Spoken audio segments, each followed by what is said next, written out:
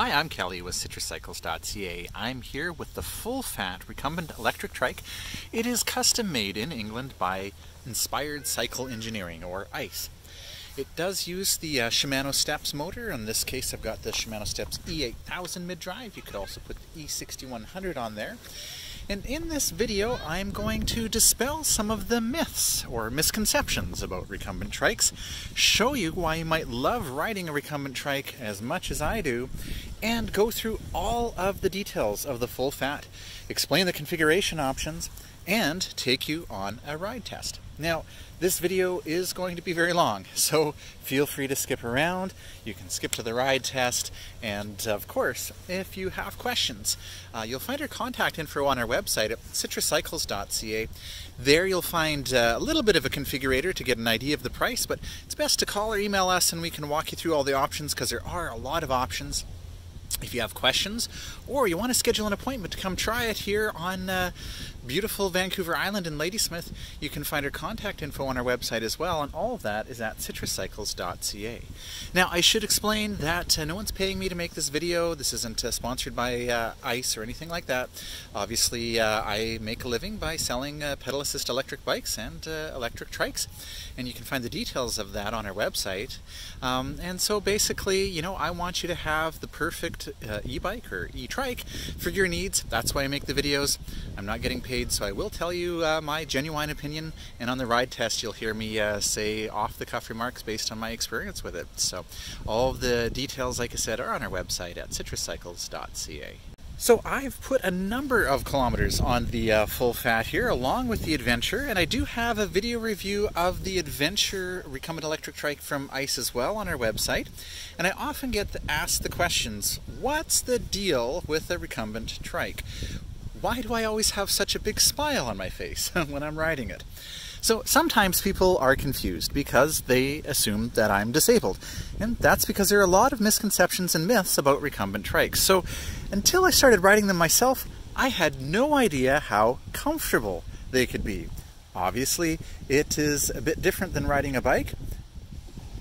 Uh, and I often give a quick summary of the advantages by saying it's incredibly comfortable, very stable, and I feel safer on the road. And interestingly, it can be both relaxing and thrilling, depending on how you choose to ride it. So the relaxing part is both expected and unexpected. It's pretty clear when you see it, you've got this really, really relaxing chair. And it's even better when you sit in it and you realize, wow, that is super comfortable. So of course, that is going to make it very relaxing. Uh, you can adjust the seat angle. We've actually got a quick release on the other side here that allows you to adjust to uh, three different positions, uh, four different positions on the quick release here. You can see there we go. Uh, but also we've got a bolt here with another four positions. So if I wanted this more upright, I would uh, either adjust it up here, which I can, and then if I want it even more upright than the quick release allows for, I can take the uh, bolt out here and reposition it into one of those three other positions, again giving you a tremendous amount of customization uh, over the angle that you can have. Now the interesting thing is the seat height here, from the ground to the seat, is around the same as my couch. So sometimes people think, oh, it must be really hard uh, to get in and out of. Not any more so than a chair, and if you need to, we can put uh, helping handles on here that actually help you get in and out. But being able to adjust the angle, of course, makes it really easy, and of course you've got it uh, reclined. I've got it reclined fair bit right now, but you can choose to uh, have that however you wish. That definitely makes the ride more relaxing. But you especially notice the benefits of a comfortable seat on a longer ride because you're not going to get the fatigue and soreness in your upper body, such as your neck, your shoulders, your elbows, and your wrists. And of course, it goes without saying, but I'll say it anyways, that your bottom is going to be much happier on longer rides as well. So all those are pretty obvious, but it wasn't until I started riding that I realized there's some surprising benefits as well that I wasn't expecting. For example, it seems like a little thing, but you don't have to jump on and off every time you stop, right? On a bike, if you think about it, you have to stop and put your feet down and get off the saddle and get back on whenever you uh, start and stop. But on the trike, you can stay seated. You're not going to fall over. So you stay in the same comfortable chair whether you're moving or stopping. So you can stop, relax, look around, and uh, enjoy the view. generally speaking, I try to stop, avoid stopping on my bike, and it wasn't until I started riding the trike that I realized it's like, yeah, instinctively, when I'm riding along on my bike, I get to see a stop sign or see a stoplight coming up or something. I'll kind of slow down and try to time it so that I don't have to stop and get off, uh, because you know it's rather inconvenient. And uh, so on the trike, I had to kind of train myself that it's okay to stop. I can stop whenever you want. So if I'm coming by the beach here, I can go ahead and stop and look around. It's beautiful and enjoy it for a while because it's uh, not inconvenient getting on and off. For some people, like my wife, uh, she has uh, uh sore feet sometimes. Her uh, Achilles actually can cause problems, and so getting off in the bike, on and off her bike, can actually hurt her feet quite a bit. This way, she doesn't have to worry about that. So for me, when I'm sightseeing or I'm touring, I just love riding the recumbent because it makes it more enjoyable when I've got this comfortable chair wherever I happen to go. Now, obviously, with three wheels, a trike gives you the stability that you don't get from a bike. The interesting thing is you don't have to expend energy on maintaining your balance, and that's what often attracts people to a trike. So if you have concerns about balance or mobility, then a trike is going to build your confidence, give you back your mobility, and I've seen it having an incredible impact on our customers' lives. So it's it's really fun. That's one of the things that I love about uh, my job that I'm so passionate about is getting people moving again, getting them out, uh, getting their freedom and mobility back.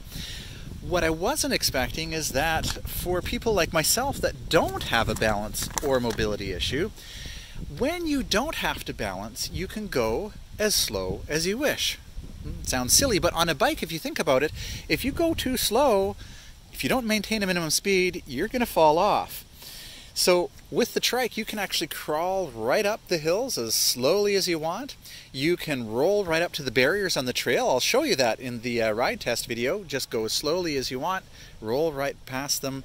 And of course, you can go on more challenging trails or terrain because there's less risk of falling off, or injuring yourself. And that's something that my wife especially has enjoyed coming on challenging trails that she probably wouldn't have gone on on her bike, but on the trike, she's willing to come along because she knows it's unlikely that she's going to fall off and injure herself. So all of these things make sense when you think about it. But here is something else. And this was completely unexpected for me. You don't need to spend your resources, your mental resources, trying to keep your balance. You don't have to focus ahead. You can actually go ahead and look around while you're riding. You'll see I do that on the ride test quite a quite a bit. You're not going to tense up when you get to a corner or worry when you get onto gravel. So a lot of accidents are actually caused not necessarily because of a lack of balance. Certainly that can cause a problem, but I've fallen off my bike. Not because of a lack of balance, because of poor trail conditions or my own inattention to what was happening. Wildlife running out in front of me, or any number of other unexpected occurrences that your mind is always waiting for. It's always looking for those things, it's always on the lookout. And when you have the trike, you don't have to worry about those things. You start to learn after a few rides that you don't have to worry about it because you aren't going to fall off. So, what's it like riding a recumbent trike? Well, come try one if you can. It's your choice. It can be thrilling or it can be relaxing. So it does feel faster because you're lower to the ground. The steering, they use indirect steering on here. I'll talk about that in a little bit, but here is where you steer. Very intuitive, very easy to use. It's very positive. So I tend to like to, you know, go fast and, you know, really get a thrill riding it. But sometimes on a longer ride, I also just like to relax, especially in the evening. So for many of our customers, they are focused on relaxing and really enjoying it, especially with this uh, full fat. Okay, so I mentioned that recumbent trikes are comfortable and stable, and I've kind of tried to argue that for you, explain why I feel that way, but I also feel safer on the road. And this was a surprise and is likely a myth because I feel safer on the full fat recumbent trike here than on my bike. Look at the size of those tires, right? 4.8 inch wide, massive tires. So what happens is cars don't pass me as closely because they see me coming. It's pretty obvious. I've got a flag on there. It has a very large visual footprint. So people see you coming, they're going to give you a wide berth. And uh, they also, if for some reason, and I haven't had it happen yet, but if somebody passed me really closely, that kind of burst of wind that you get that makes you feel like you're going to fall off your bike, well, you're not going to fall off your trike. And for my wife, it's like, you know, this is a 26 by 4.8 inch tire, so you see the tires are up you know, higher than she's sitting. So she feels kind of enclosed and protected by these really wide tires in here, and it makes her feel safe as well. And sometimes that helps as well to keep you safe because you're more confident and you're not uh, anxious and nervous. So certainly I find that uh, cars are definitely giving me the wider berth that I need. Interestingly, if you actually measure, uh, you know, the the uh, width of the trike here, and then uh, set that up, uh, you know, draw a couple lines like that on your bike, and go up a hill and try to stay within that, um, you aren't going to want any uh, narrower width than that for what is safe for you to ride because you don't go uh, you know always perfectly straight on your bike. You're going to weave a little bit especially on a hill. You've got wide uh, bars especially if you have a mountain bike so uh, when I show people, you know, you line it up and you put a mountain bike there with the wide bars and the trike, the trike isn't actually taking up that much more room. In fact, I generally fit on the shoulder and uh, beside the white line if I choose to do that.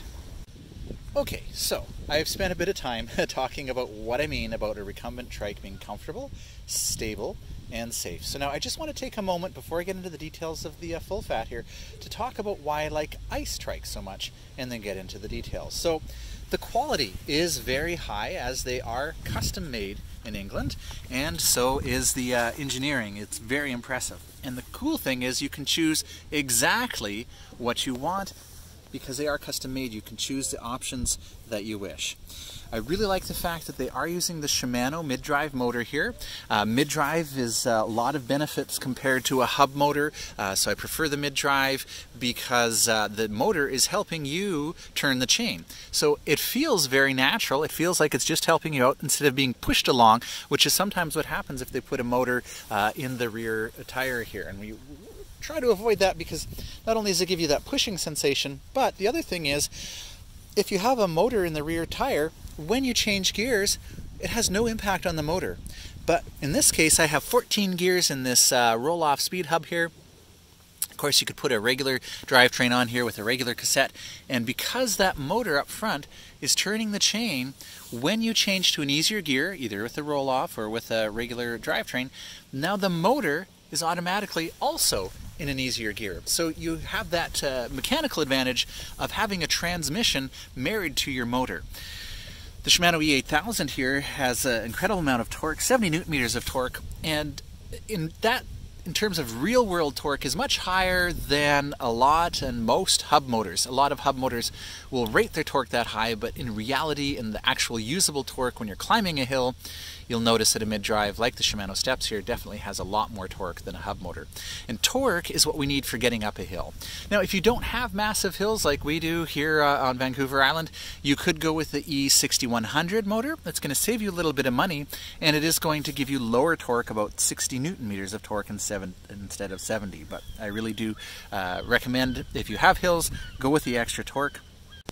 So we have a 504 watt hour Shimano battery on the back here. It's mounted on the uh, side here. And uh, the great thing about this is it is actually a Shimano battery. It's not proprietary to ICE. That means any bike shop uh, in the world, uh, basically, that deals with Shimano, which is pretty much every bike shop, can get you a spare battery if you need one. And we know that uh, well into the future, Shimano will have these uh, replacement batteries. You can charge the battery on the trike here if you wish. There's a charging flap right here that we open up. It is attached by a leash leash so you're not going to lose that uh, cover which is really great. Just clicks back into there. Um, or you can use the key and uh, remove it from the uh, trike and charge it inside. The choice is yours. If you wish they actually uh, ice makes a mounting plate. For the uh, other side I don't have it mounted but basically you could mount the uh, second uh, battery plate there and uh, bring a spare along with you. When your first one runs out, then you would simply swap them and put the second one in. We also have a removable Shimano display here, so that is uh, removable. If you want to bring it in with you, you can certainly do that. The display actually is Bluetooth enabled, so you can pair it with your smartphone, which is quite clever. Uh, there's a couple things you could do with that. You can uh, update the system with the uh, smartphone app. You can actually use your phone as a display to display more data than you might be able to see on the screen all at once, and you can customize those displays, which is really cool. But probably the most popular thing to do is to be able to go into the different levels. So right now the assistance is off. If I press the uh, arrow here, you can see it moves up to Eco. I can actually use the app to say, well, eco should be really, really, really low, or kind of medium low, or a little bit higher than too low. And I can adjust each of the three levels. So I can also go to the trail setting, which is a bit of a dynamic mode, kind of adapts a little bit to what you're doing. Again, there with the app, you could say, well, I want trail to be pretty close to eco or no, way more close to the high level, which is boost. And boost you can also adjust as well. So uh, to adjust the level back down, you just press the uh, arrow here and you go back down. So fairly easy, straightforward display. Um, there isn't a USB charging port on uh, the display or anywhere on the bike. That's a limitation with the Shimano system. That would be kind of cool to have. Um, that's where maybe Bosch uh, would be nice in terms of having their display, but uh, certainly the Shimano system is really nice to have. Um, in fact, you know, pretty much um, and I've talked to ICE about this, uh, the only reason why I'd really like to have the Bosch system, and personally I really like the Bosch system, although I have nothing against Shimano, and I'll talk a little bit later, we've got the Rohloff here. We have to use mechanical shifting with the Rohloff because the Shimano system at this point doesn't support electronic shifting, but that may be coming out in the future, so that would be pretty cool.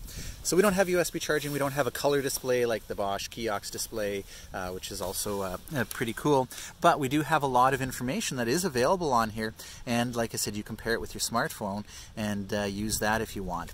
Uh, it won't upload uh, trip data after a ride like the Kiox display, you can't uh, link it to Strava. But there are some third parties now that are making um, apps and uh, bike computers that'll actually work with the Shimano system and replace this display, so that's pretty cool as well. So with the display here, and I'm, again, I'm, I'm just always going to be, you know, tell you the things I like and the things that I don't like. It's not a big deal. It is a nice display. You've got the time. You can see that my lights are on. You can see the battery uh, indicator there showing the battery charge, current speed, current level of assistance.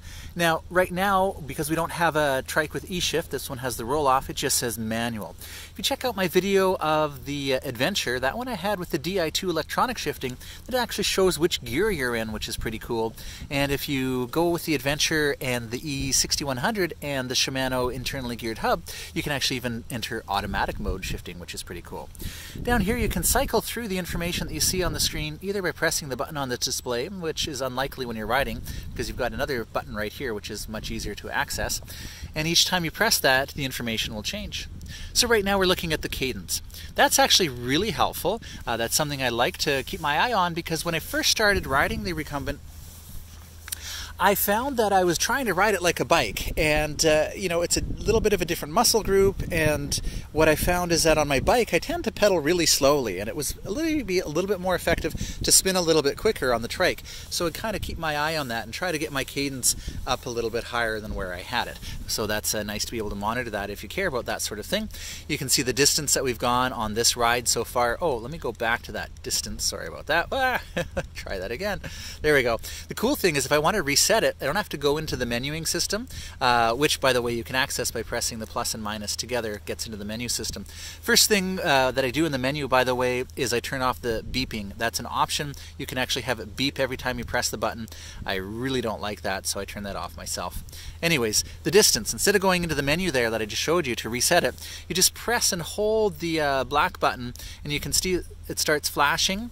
Uh, and if you press it again, then it's actually going to reset your trip distance. So that's pretty cool. Um, total odometers, you can see I've done 735 kilometers on the uh, full fat here so far. Your current range and the current level of assistance. So if I go down to Eco, you can see my range is 62 kilometers. In uh, Trail, it's 46, and in Boost, it's 31. Now, instead of going up and down like that, if I just go to the next screen, you can see it actually shows me the level of, uh, or the range for each level of assistance. So that's uh, pretty handy to be able to have that as well. All right, and there's our trip time, so how long I've uh, been riding the uh, trike on this trip, my average speed on the uh, trip so far, my maximum speed, and back to the cadence. We also have a button here to control your lights and uh, I think that's pretty much everything in the menu option. Like I said, you can uh, change the uh, beep, you can change the backlight, the brightness, the colors, the language, the font color, lots of information in there that you can uh, adjust. While I'm over here, I should mention that with uh, ICE, when you're building the trike, you can customize it. So if you wanted the display and the buttons over here, you can do that when you're setting it up, or if you want the shifting on the left or instead of the right, or you know, however you want things set up, everything on the right side or everything on the left side, those are options that uh, you can do. While we're up here, I'll also show you how to brake. So a lot of times people ask, ah, how do you steer? Well, here is your steering. uh, you've got your right and left here, and uh, interestingly, uh, you can very easily steer with just one hand. Uh, I don't recommend at higher speeds not having any hands or any weight on the handlebars because at higher speeds, everything can start shaking a little bit if you completely take your hands off. As long as you have a little bit of weight either on the wrist rest here or on the uh, handlebars themselves, then you're not going to have any problems. This using the indirect steering here is actually really, really easy to steer. Um, unlike a lot of uh, recumbent trikes that use a direct steering, at higher speeds, when you're hanging on here, it's very smooth, very responsive. You don't end up with a lot of shaking and uh, that sort of thing from the uh, road. So as long as you keep your hands on, you're fine. Here is the brake lever for the right brake, right front brake, and uh, the brake lever for the uh, left front brake. Uh, ICE is very clever. They managed to design the trike somehow, and I'm not sure what the magic is, but somehow they actually have designed it so that it has no brake steer. So I can be going down a hill and I can be signaling with my left hand and pulling on the brake lever with my right hand and only using that one lever and it won't impact on the steering. So that's uh, pretty clever because there are a lot of hills here where I'm having to brake and corner at the same time. Uh, so yeah, I talked a little bit about the uh, indirect steering, which is uh, really very positive, very responsive, very very easy to use. Um, really, the only main disappointment I have with the uh, trike, and I'll talk about the transmissions later, is that ICE doesn't uh, give the opportunity of using uh, the Enviolo continuously variable transmission. Uh, but maybe that's something that'll come in the future. Certainly, the options that they do give you are very good.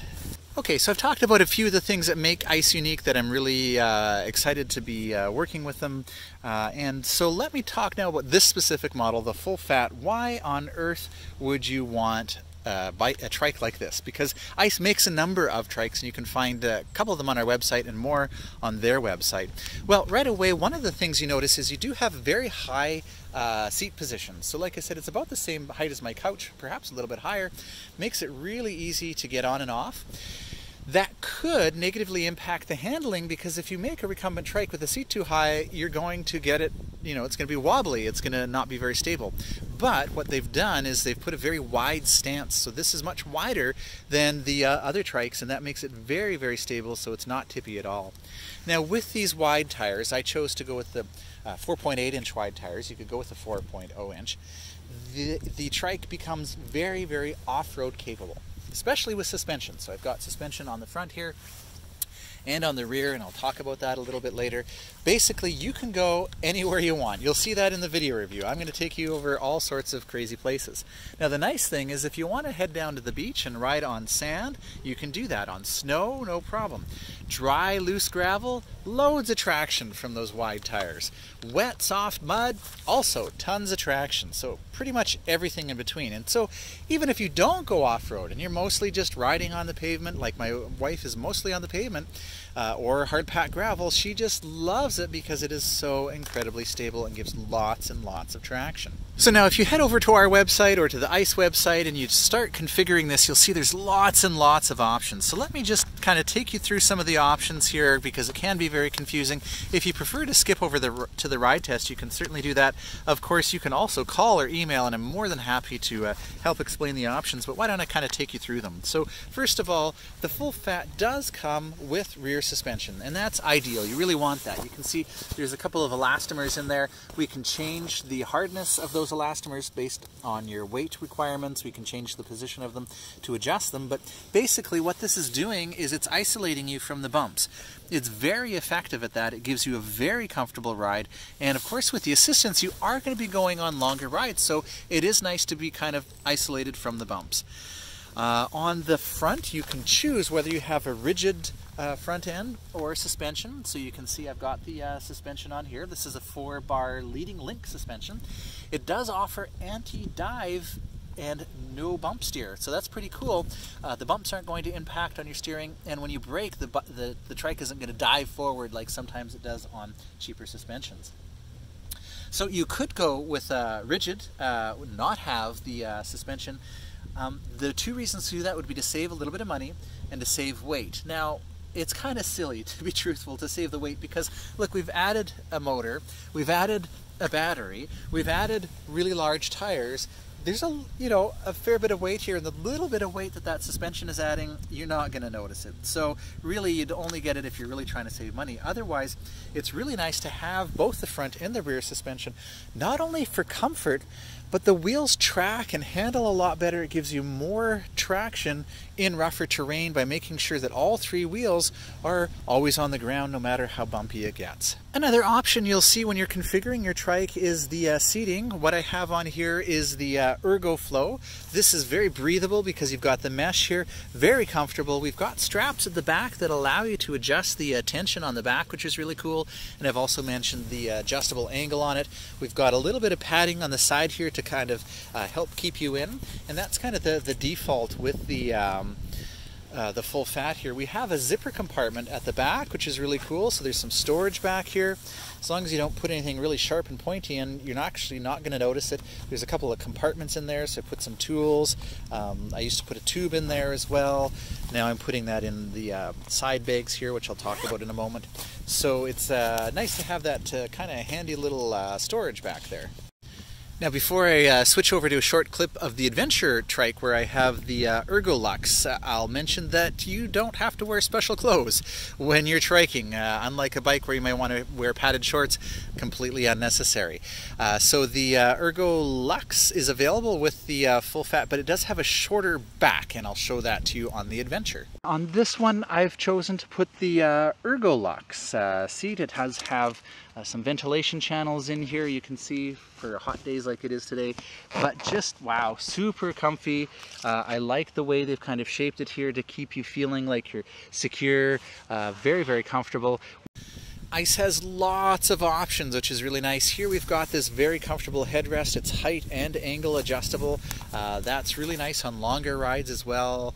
This is my evening ride. So I get home from work and it gets late and I'm tired, but I still want to go for a ride and I get on this and it's so relaxing that I end up riding a lot longer than I need to. Other comfort action uh, items here, you've got the wrist rests are optional as well. Again, adjustable as far as the angle and height and that helps again on longer rides.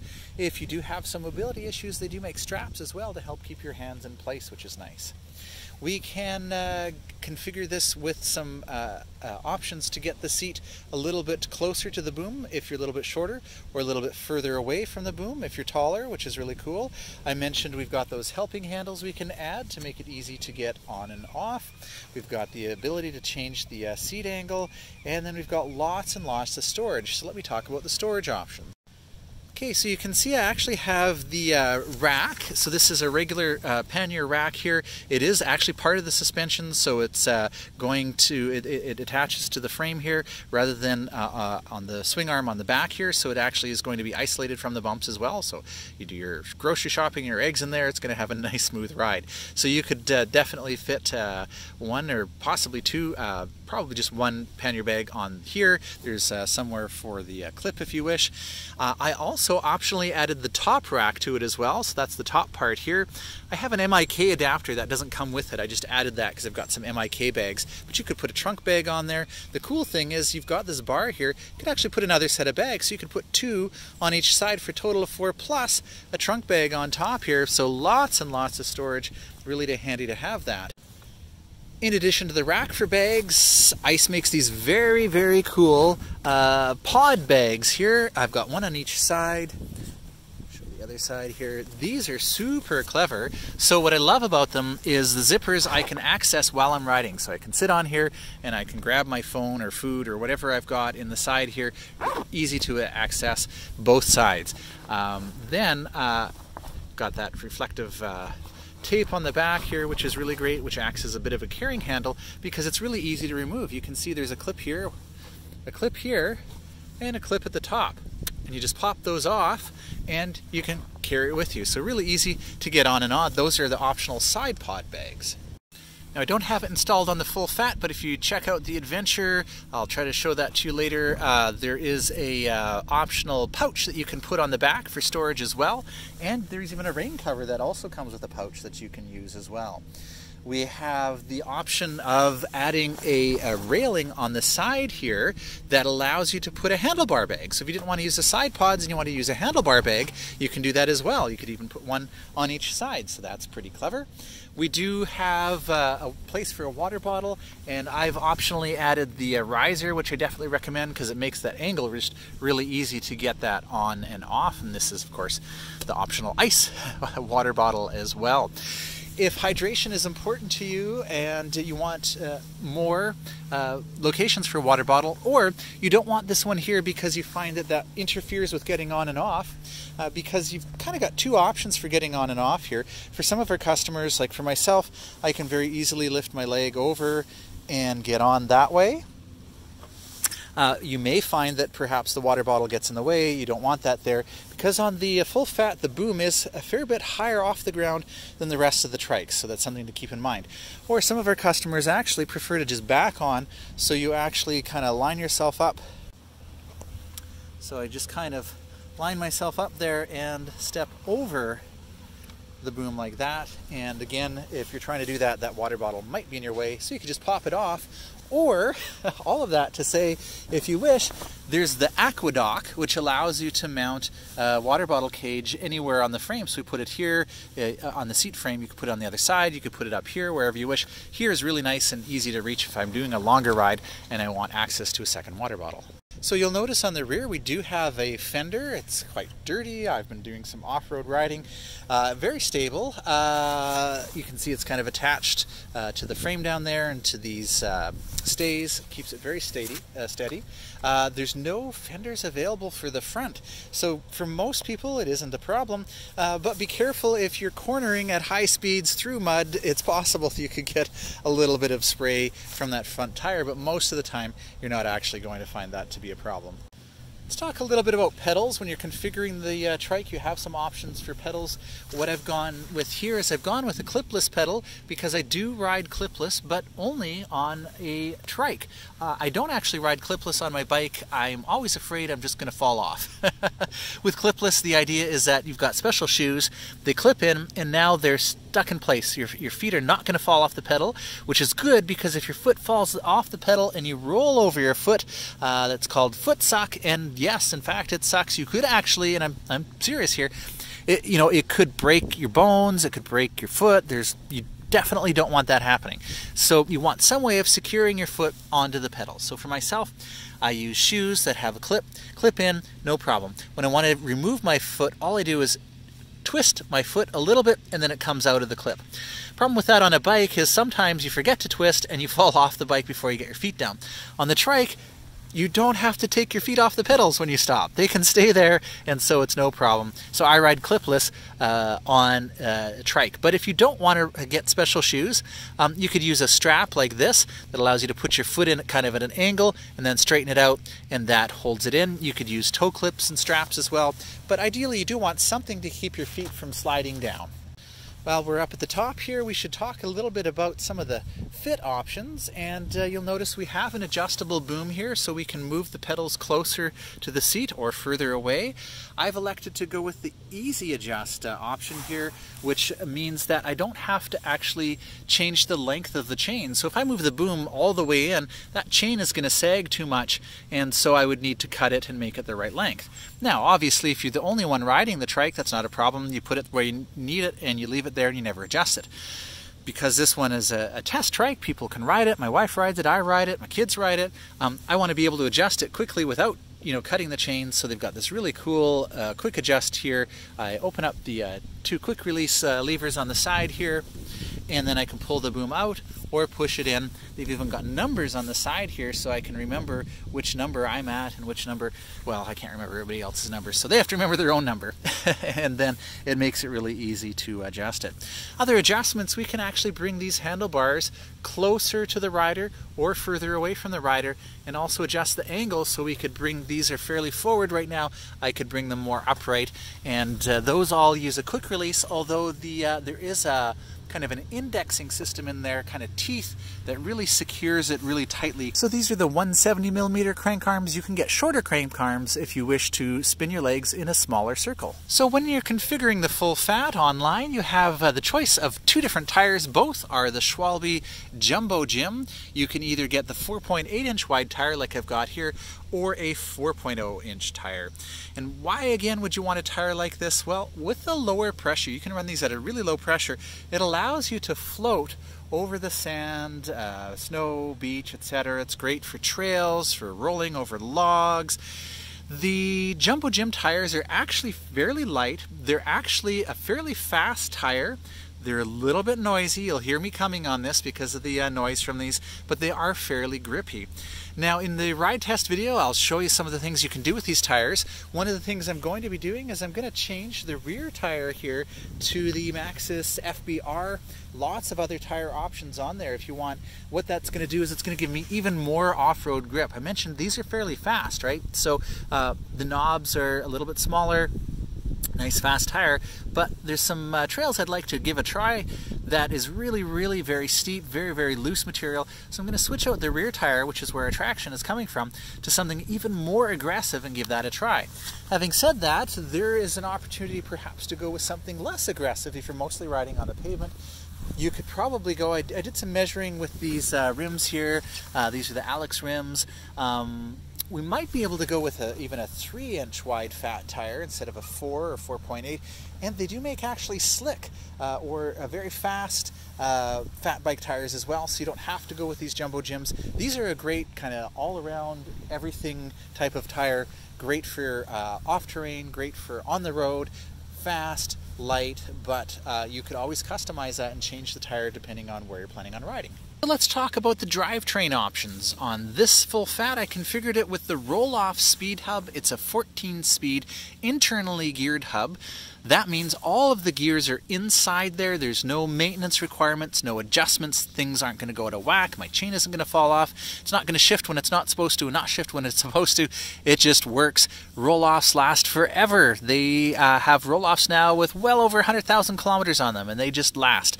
Now, you do need to change the oil once a year pretty straightforward, easy thing to do. We've got a kit for it. Uh, we're happy to help you with it. And this Rohloff hub gives you a 520% gear ratio. It's a massive wide gear ratio, makes it really easy. What that means is it gives you a really, really low gear for climbing really, really steep hills, and it gives you really good high gear so you can go really fast if you want. I can pedal past 50, 55 kilometers an hour and not spin too quickly, but at the same time, I can climb really, really steep hills. Now, one of the beautiful things about a internally geared hub aside from the lower maintenance requirement because now you don't have to worry about uh, uh, keeping it clean and adjusting things. It also doesn't need to be replaced like a cassette normally does. You can also shift while you're stopped. So even though we're not moving right now, I can twist the whole grip here. And this is really cool, by the way. This is something that uh, ICE uh, designed themselves. This is the Rohloff twist shift, but the whole grip shifts, uh, twists, which is really cool. So you can see the little Rohloff bird there telling me the gear that I'm in, and I can go ahead and shift into my easiest gear to start out with. I'm just on flat here, so I don't need to be in one. Five is probably a good starting gear, and as I get going faster, I can just go ahead and shift. Now, as I mentioned, you do need to unload the weight on the pedals, so as I'm pedaling, I'm going to briefly stop pedaling and then shift, and that'll help it shift a lot smoother. Or you can go with a more traditional system, the derailleur system here. We do use a bar end shifter, super easy to figure out how to use, just to pull that towards you or push it away from you to change gears. Again, you need to be do that while you're uh, pedaling. Um, I don't love the bar end shifters personally because I ride a lot, I ride a lot of rough stuff, and they seem to go out of adjustment from time to time. So every few weeks I seem to be kind of adjusting it. Uh, maybe it's because it's a relatively new trike and the cable's still stretching, but I don't love the bar end shifter. It's okay, it works, it's very intuitive. Riding a lot of rough stuff, maybe worth going with the electronic shifting. And if you do that, then instead of this uh, 10 speed, which I put on here, and you could even go with an 8 speed, but you know what? It's an 8 speed 11 to 32 tooth cassette. The 10 speed 11 to 36 isn't that much more expensive. Definitely gives you a much better climbing gear. Here in Ladysmith, you know, we got lots of hills. So I would say spend the extra, get the Deore 10 speed, or if you don't mind invest the investment, go on an 11 speed with that electronic shifting. So here's an adventure with the Shimano Di2 XT electronic shifting with an 11 to 46 tooth cassette. You can see that's a massive climbing gear there. Makes it really easy to climb pretty much anything. It's electronic shifting. I'm loving it compared to the bar end shifters because it's a perfect shift every time. It never goes out of adjustment.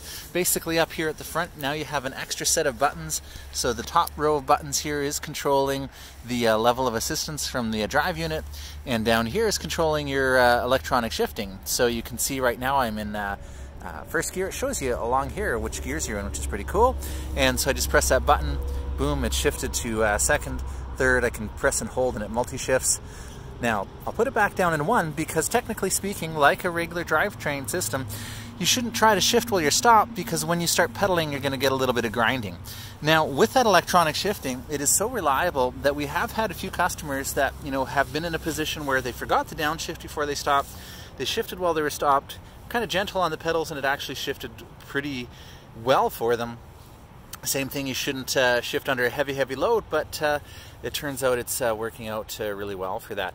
You know, and I love what ICE has done with this. They've got their own kind of braided uh, cable here. This is an electronic cable, so you don't have to worry about it stretching or going out of alignment, and it's just going to give you perfect shifts every time. I'm loving that, uh, especially compared to the bar end shifters I found were a little finicky. They're okay, I'm just not used to them, but the electronic shifting is beautiful.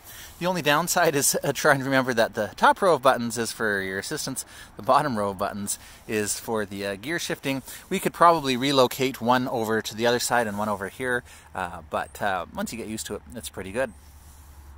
If you find that you're concerned that this twisting motion might be difficult, if you've got some wrist, issue, uh, wrist issues or arthritis or something like that, uh, then the electronic shifting can be really nice because it is just a push button.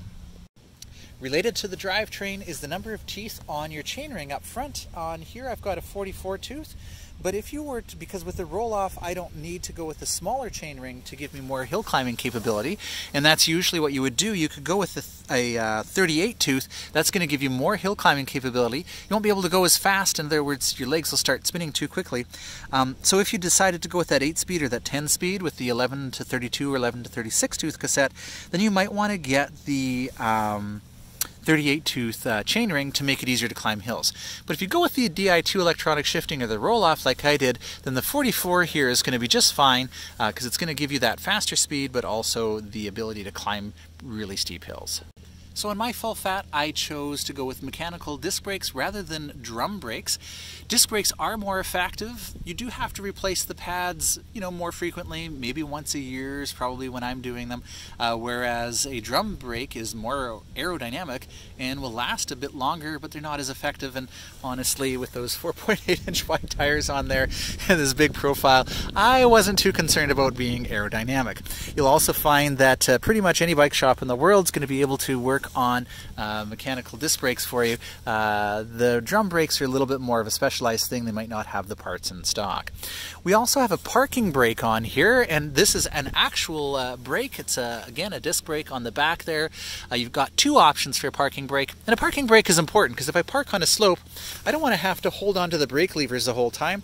I want to put my parking brake on, like I've done here. Just push that all the way down. Now it's released.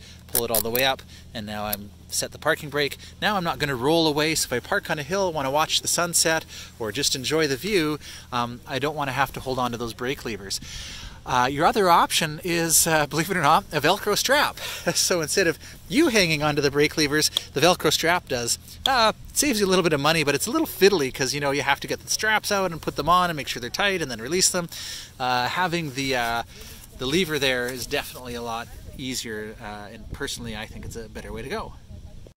Now for safety, we do have uh, lights integrated. That's a choice that you can make. You can put your own lights on if you wish, but I love having nice bright rear and a very uh, bright uh, front light here uh, built in running off of the main battery so I don't have to worry about recharging it. I don't have to remember to bring it along. They're permanently mounted. They're always there. They're running off the battery. They don't need to be uh, recharged and I'm able to uh, uh, ride at night, uh, and uh, also it helps uh, to keep me more visible in traffic because uh, cars are more likely to see those lights. Of course, I've got the flag, and like I said, a pretty pretty big visual uh, footprint here, but it's definitely nice having those lights built in running off of your main battery.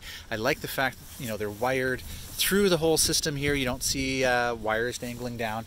Even uh, the back rack here, the wiring is actually running through the rack and then we do have a quick release here. talk about that in, in a few moments, but if you're uh, wanting to fold and unfold it, or if you want to take this top rack off, there's a quick release here that you can actually just take that top rack off. So that's uh, just all these little details are really nice uh, that shows that they're really paying attention to how these are being used. So one of the reasons you may want to take that top rack off, and it isn't necessary, but the uh, full fat, like all the rest of the ICE trikes, actually has a compact twist fold mechanism.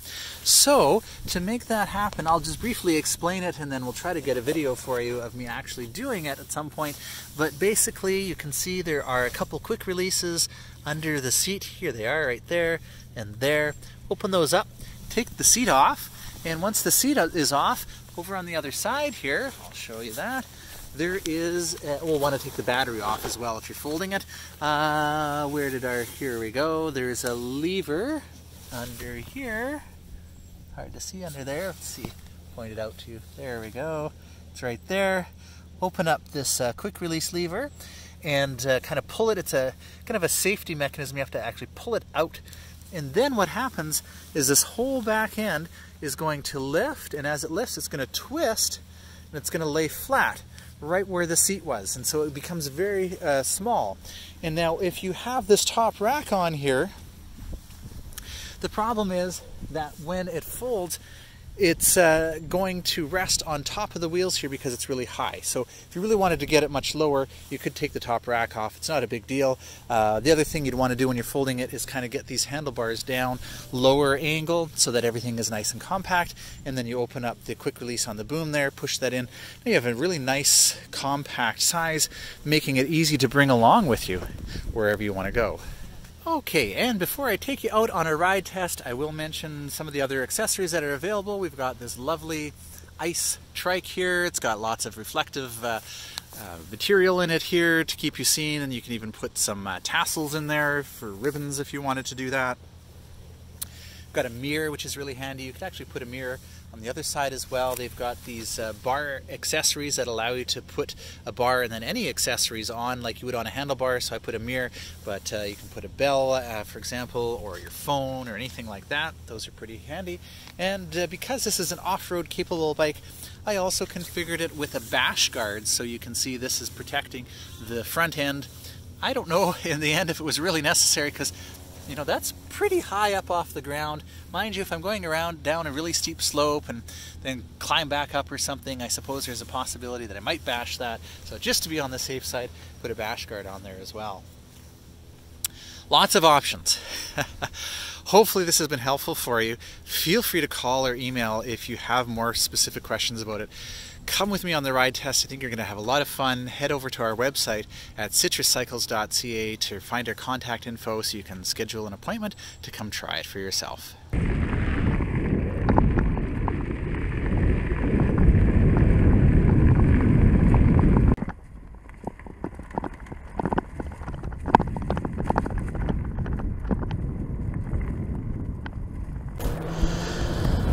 Okay, so we'll start the ride test on pavement. It's wet pavement, which is great. I always love uh, testing bikes when it's wet and rainy and gives you a good idea of the traction and handling of the bike. And of course, with this trike with these fat tires, this is the uh, full fat with the uh, 4.8 inch wide Jumbo Jim tires. You're gonna have loads of traction and uh, riding in adverse conditions is really when the bike shines. Now you may be wondering, well, why would we even ride on, on pavement with this bike? You know, isn't it designed for off-road? Really, this is an incredibly versatile trike and uh, it's ideal for everything really. So, you know, we have the full fat here, we have the adventure, I have a video review of it on our website. My wife and I love to go uh, riding together I'll always ride the adventure because she's not willing to give up the full fat. She absolutely loves riding this. And it's funny because I think to myself, you know, we'll, we'll be out for a ride and I'll think, oh, you know, I really love the adventure. This is great. And, you know, so much fun. And it is a super great bike. I think, oh, maybe this is my favorite. And then, you know, we'll get back and I'll be like, well, you know, I'm going to try the full fat now that you're done riding. It's like, oh, this is such a great bike as well. And, you know, for her, one of the things she loves about it, and you notice as soon as you get on, is uh, it's a little bit higher up, so you don't feel like really low to the ground. It's important to her to feel really safe. Uh, speaking of safe, I'll pick up on that in a second there. You can't tell in the video, I'm actually signaling a right-hand turn here. So I'm going down a bit of a hill, and I'm signaling with my left hand and braking with my right hand and it had no impact at all on the uh, handling or the steering. And that's what uh, ICE calls their uh, no steer braking. So you would think that if you only brake one wheel, you know, that it's going to impact on the, the steering. It doesn't. I actually was able to very successfully just use one hand on the rear, on the right brake and um, signal with my left hand and not have it uh, impact on the uh, steering. So that's pretty cool. Anyways, a uh, bit of a hill there. I'll get up to a bigger hill soon, talk to you about that. But riding position, yeah, you're fairly uh, high, uh, but not in a way that uh, makes it unstable. And you'll see that in the throughout the ride test. I'll do some faster speeds and corners and stuff like that. Very, very stable. And that's, you know, important to a lot of people. To my wife especially, she wants to feel really safe, very confident, very stable. And that's part of why she loves this bike.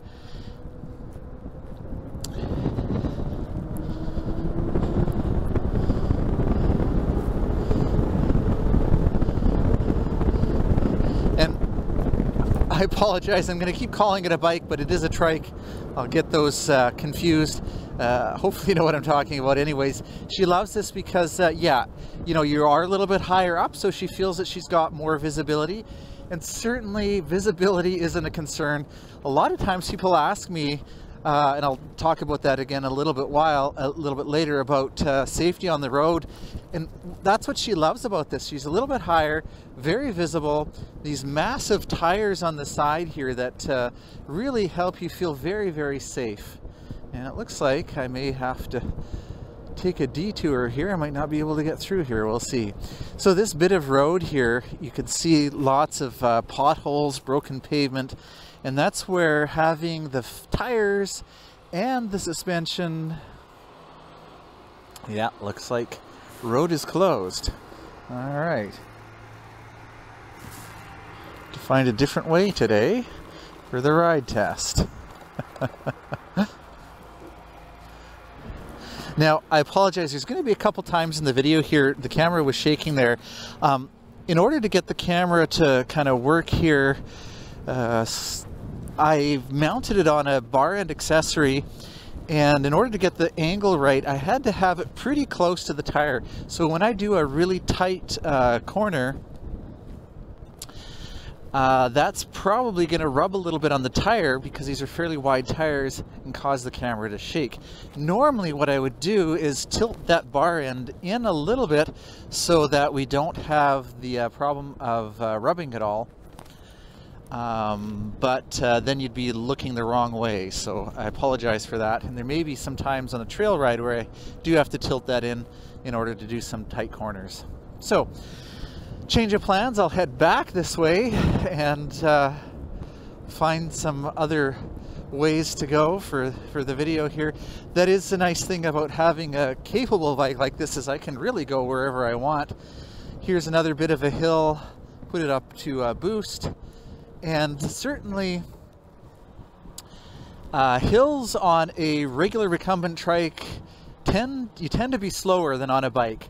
Uh, I don't know if it's three wheels or what it is, but that's the nice thing about having the um, Shimano STEPS. I've got the E8000 on this one. Gives you lots of torque, so I had really no problems going up that hill.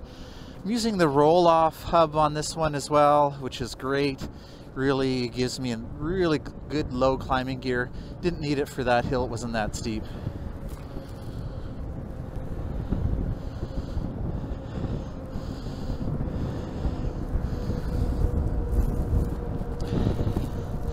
Here's another example of that no brake steer where I'm going to be signaling a left turn and braking with one hand.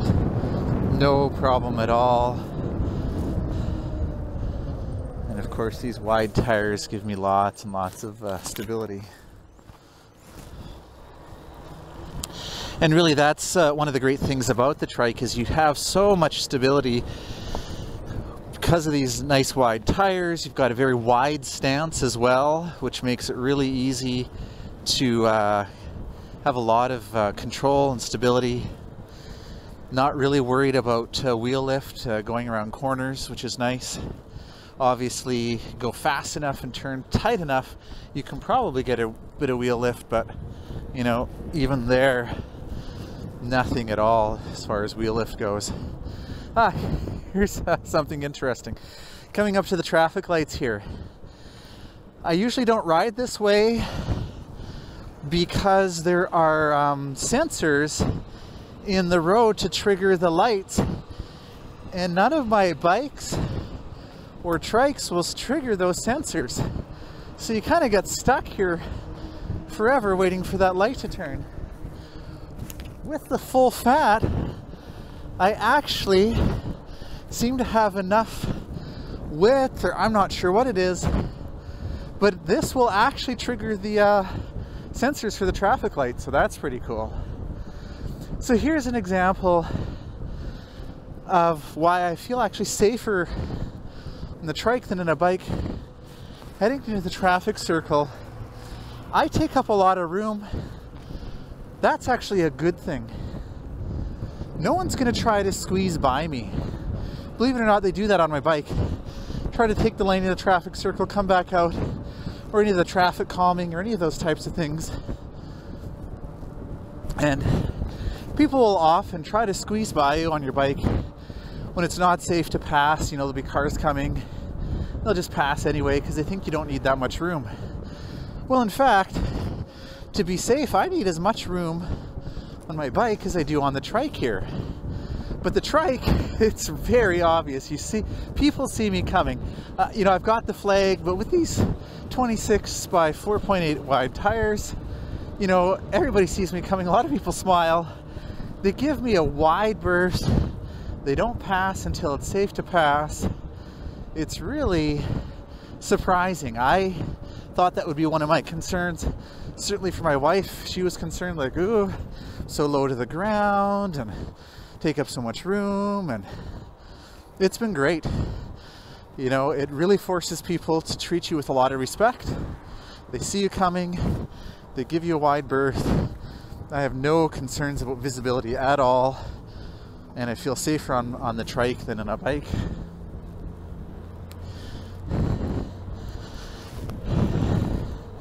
You know, we're heading into the fall.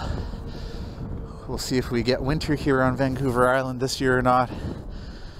Part of me doesn't, you know, want snow, but part of me is like, this is going to be a great trike for the snow because, again, I'll be very stable, very safe on it by having, you know, three wheels on the ground. I won't be worrying about falling over. I could put studded tires on it.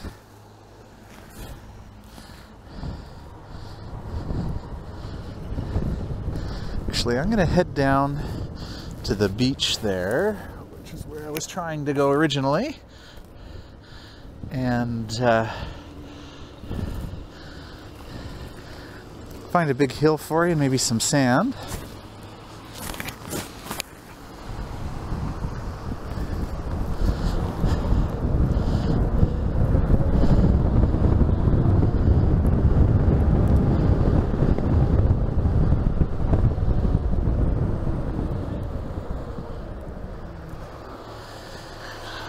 Again, love having the Rohloff here. I didn't uh, downshift before I stopped, so now I can go ahead and shift into five and it'll be no problem getting started when the light changes here.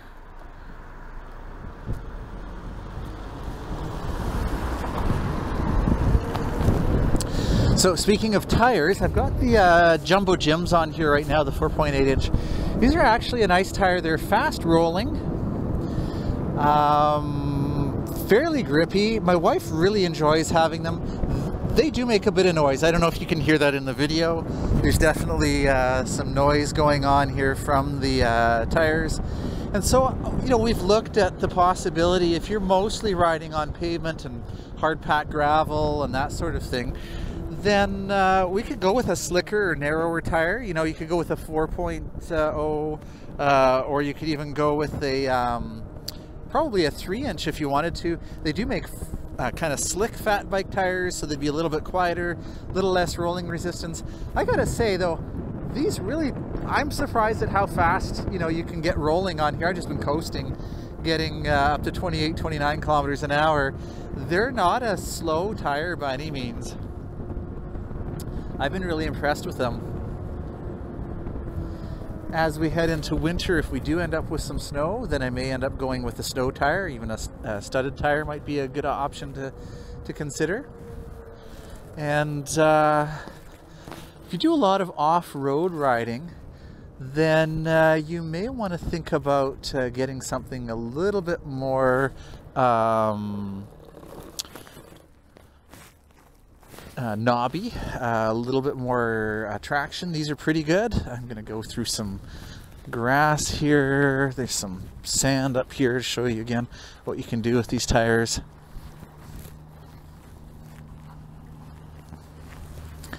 Go.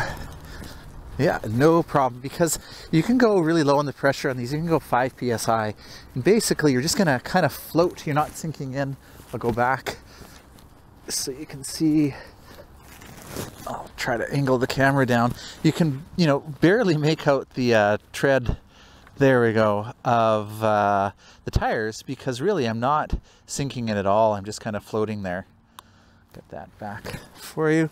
So, you know, coming to a standstill and then starting again, no problem with the uh, sand at all. So if you're planning on riding on the beach, wow, this would be great. One of the things I'll point out, probably I'll repeat myself a lot in the video, and I apologize for that. One of the things that, um, I mean, this is a good example. Of one of the great things about a trike is I, there's a nice view here. I just sit and stop, and I'm still in the same position as when I'm riding. So on my regular bike, I, I don't often stop because I don't like getting off and on and starting and stopping. And with the trike, you know, I really had to teach myself to just relax. Like to, when you see something nice, just go ahead, stop, put the parking brake on. That's what I've done. I just put the parking brake on here and I don't have to get out of my seat. And when I'm ready to go, I just release the parking brake and roll. So it's great. There's also no minimum speed. So, you know, in that example I was giving, if you decide, hey, I'm going to go, um, you know, ride at the beach for a while, uh, you can go as slow as you want. You know, on a, on a regular bike, you're kind of concerned you got to keep your speed up or you're going to fall over. You don't want to do that. So you really focus on, you know, making sure that uh, you can keep your speed up and, you know, maybe you're missing out on looking around and enjoying. And that's one of the surprising things for me about the trike was uh, I don't have to look where I'm going so much. I mean, obviously, you don't want to run over a rabbit or something accidentally, which I've almost done a few times. Um, but you don't have to on a bike if you think about it you're actually expending some energy looking ahead and making sure that you're not going to fall off keeping your balance. And uh, you know here um, you're not going to fall off. You're not going to lose your balance. I mean you can lose your balance you're not going to fall off. So um, you can just go ahead and go as slow as you want and look around and really you know just kind of enjoy uh, being out. And uh, that's one of the, the great things about the trike compared to a bike is, you know, I probably wouldn't be doing this kind of thing on my bike, but it's like, oh, you know, let's just head out onto the beach and roll around. I can go as slow as I want. I can, you know, roll over the logs if I need to. Um, you know, head out to the water if I really wanted to do that. So if you live somewhere where you have the opportunity to ride on the beach like this, it's super fun. The only strange thing is anytime you're on a beach generally, you know, there's going to be a slope down to the water. And so I'm a little bit off camber right now. And so that can be, uh, you know, a little bit of a disconcerting feeling. But, uh, you know, eventually you get used to it and you realize, yeah, I'm not going to tip, even though it feels a little bit like I might. I'm not. I'm really impressed with these tires so far. I haven't lost traction. And this is actually like really, really soft. Here I'm gonna end up kind of uh, hitting the camera again with this corner here. Let me um, just uh, stop and adjust that for a second. Okay, so I've adjusted that a little bit. We'll see if we can avoid hitting you with the tire. Uh, certainly when I don't have a camera on, it's a lot easier, obviously, to adjust things, so don't have to worry about that. All right, now I haven't given my, the tide's coming in here. I haven't given myself much uh, room to um, maneuver here as far as turning radius goes, especially since again I'm trying to avoid um, hitting the camera there. So here's one of the cool things you can do with this trike is if you need to back up, you just grab onto the tires as if it's a wheelchair I guess you can't see that in the video here, but basically I'm just grabbing onto the tires, roll myself backwards, and there we go. Now I've got it able to turn a little bit tighter here without going into the ocean.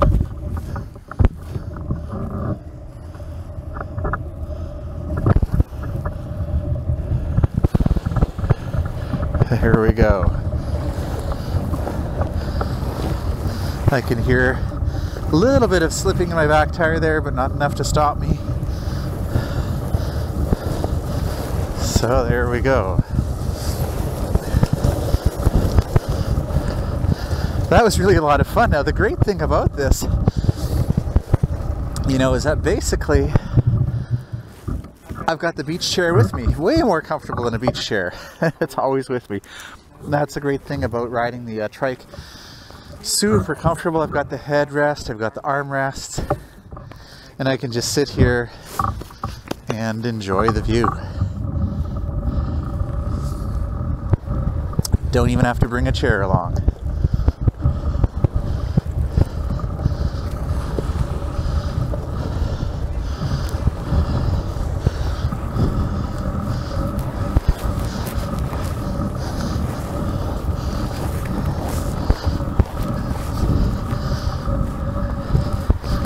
there we go. Now, if you do end up riding through the water, I didn't today, but if you do that, uh, you know, especially in salt water, then, uh, you know, you'll want to make sure that you uh, give it a good cleaning when you get back. You don't want salt water getting in everywhere. But other than that, it's, uh, you know, obviously very capable of those kinds of things. I was curious about the wet grass coming up there if I'd run into problems. No problems with traction there either, so that's great. All right, well, that was a fun little detour. More fun than I expected. I'm gonna have to come back and do that again. I've got a big hill coming up here. Little one. Ah, well, let's see. Here if I can make it up with the wet grass up this way. So I'm gonna First pop up onto this curb. There we go. Oh yeah, no problem. We're all right up there. That's the great thing about the trike is you literally can crawl. Again, there's no minimum speed. You don't have to worry about uh, going too slow and tipping over. So, yeah, I just, you know, rolled right up to that curb, popped up and popped up the hill.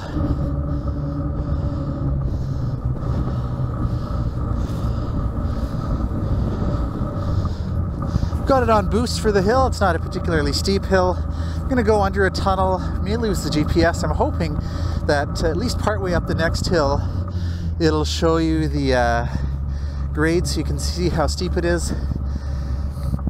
It's another common question people have as well. It's so wide, and especially the fat version here, you know, the adventure is much narrower. This is very wide. Am I gonna be big through barriers on the trails? And so far, I've been able to make it through all the barriers and all the trails I ride. Hasn't been a problem, which is quite surprising. But I guess when you think about it, you know, the width of my tires isn't that much wider than the bars on my mountain bike. So it's not like I need that much more room. Okay, so going back to the GPS here, uh, the speed won't be accurate when I'm climbing hills or descending hills. It's not smart enough for whatever reason to measure the speed over the slope of the hill. It's kind of measuring it as if I were going flat. So it'll usually be uh, lower than I'm actually going, but hopefully the gradient is there. Another barrier, just roll right through it, roll off the curb, no problem. Put it on boost for the big hill here and I may need to put it in easier gear again with the Rohloff. Really easy to do that. The only thing with the Rohloff to keep in mind is that this is a mechanical twist shift. You do have to ease off on the pedaling, if not uh, stop completely when you're shifting in order to facilitate the shift. So right now I'm in the easiest gear. I'm doing about seven kilometers an hour. It's actually too easy of a gear. I think I'm spinning fairly quickly. Well, not too bad. 81 RPM for my It's handy having the little cadence uh, indicator on the display here. Certainly, you know, rolling up the hills, it's a bit of a technique I had to learn. It's a different set of muscle group than on a bike. First few rides on the trike, I was slow I was tired at the end of it. I thought, what is wrong with me? I'm so out of shape. Usually I don't get tired riding. Usually I don't have sore muscles. After a few days of riding, kind of built up that new muscle group, a little bit different. Started to find my average speed increased quite a bit. And uh, found I was able to get up the hills much easier. Again, though, the nice thing is you don't have to you know, necessarily be super fit. Put it on boost, but crawl up as slow as you want. Stop and have a rest. Put the parking brake on. It's no problem.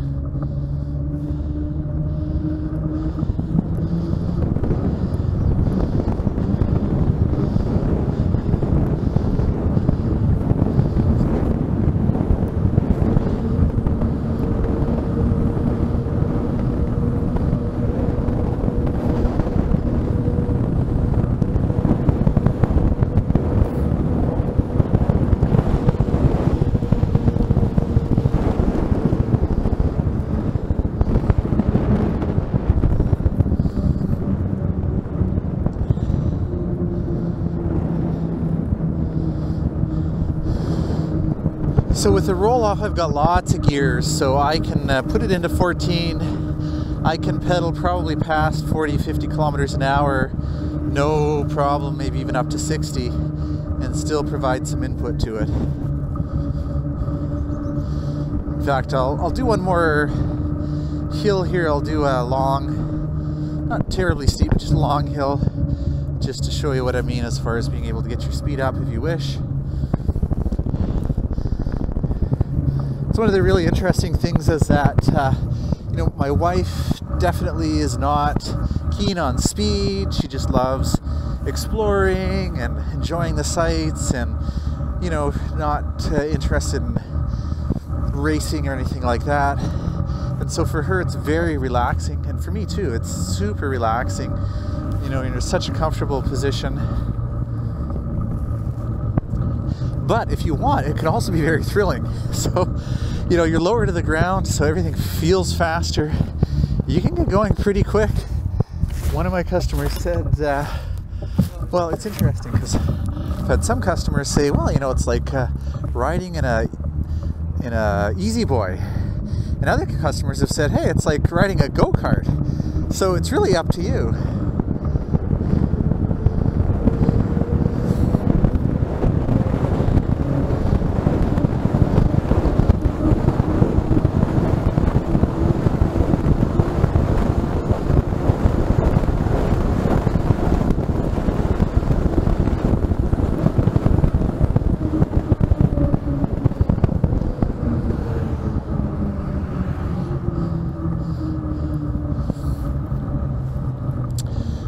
So I was able to get up to what, uh, 58, yeah, 58 kilometers an hour going down there, and I kept pedaling. And, uh, you know, my cadence got a little bit high, about 110 RPM at one point. But that's pretty impressive that at uh, almost 60 kilometers an hour, if you want to be crazy and get up a lot of speed and wear yourself out like I did, you can keep pedaling. And that's one of the nice things with that Rohloff hub is it gives you such a wide gear ratio that at the same time, I can easily climb really steep hills. But while I'm climbing the steep hills, I've got a nice low gear, but I've got a high gear for going fast. Okay, now we're going to do a little bit of riding on the uh, Cowichan Valley Trail, part of the Great Trail, or the Stocking Creek Trail. And you'll notice we've got a lot of barriers in the way here, but it's not a problem to just roll right through them. The nice thing is that with the trike, since there is no minimum speed, hello, hello. Yeah, the great thing is there's no one minimum speed, so I can go as slowly as I want, line myself up, and roll right through the barriers.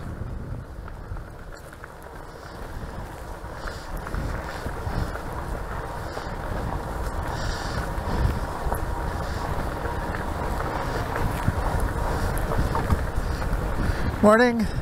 Uh, good, how are you? It's a lot of fun. So, this is one of the perfect uses, you know, for, for trikes in general. Let me point the camera up here. You can see the fall colors. I'm sitting here reclined. I've got the headrest.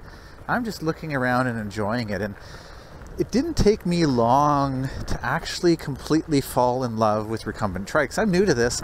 Uh, you know, up until we started carrying ICE, I just rode a bike. I had no idea how awesome this could be, how much fun it could be, how enjoyable it is. I'm having so much fun, and it seems everybody else is too when I'm on my trike because everybody smiles and waves. Hello. Thank you.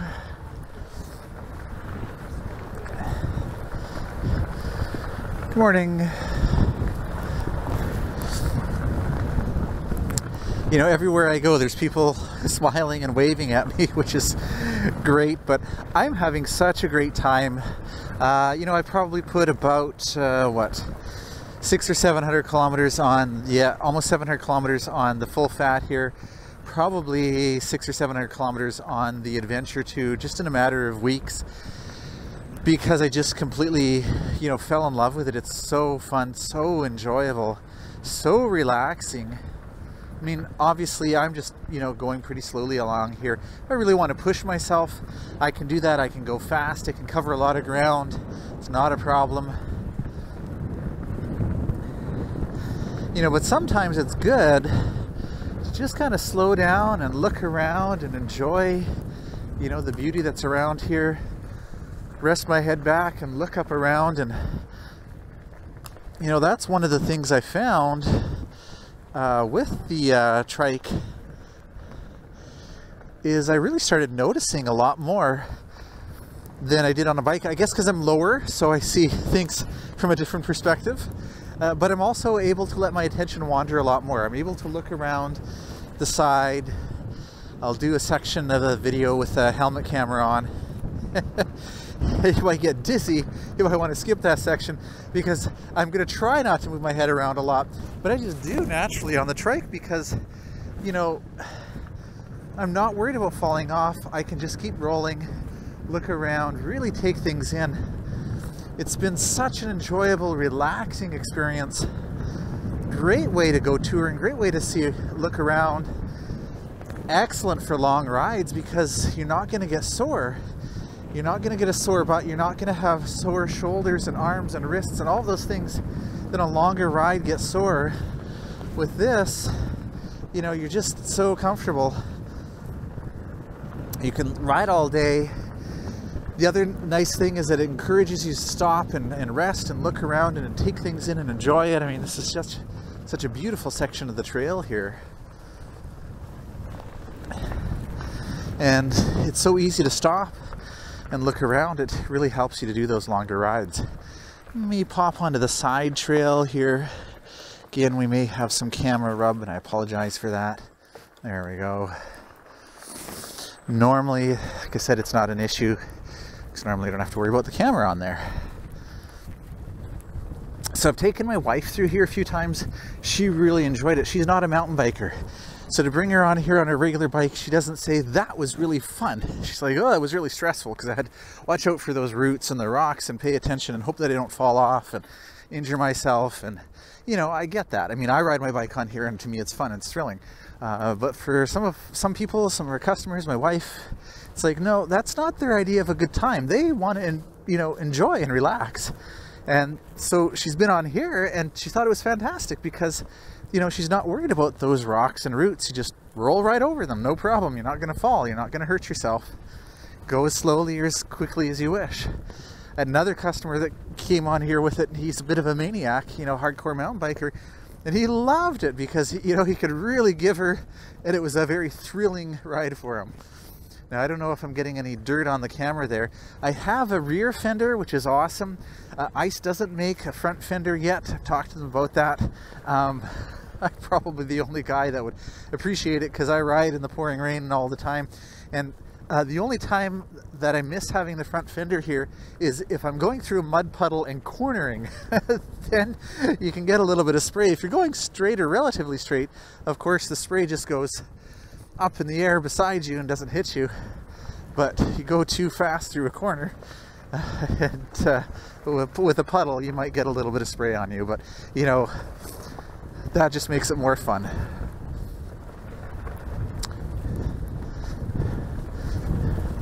But hopefully you're enjoying this as much as I am. You're certainly welcome to come take one for a test ride. Uh, I think you'll be pleasantly surprised by both the Adventure, which I've got a separate video review of on our website, and the Full Fat. So much you can do with it. Let me do a couple more little hills here for you, and then I think I'll have given you a good idea of what you can do.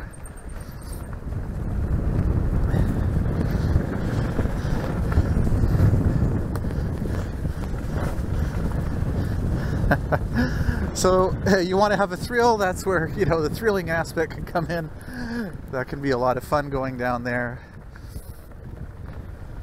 But you're very stable.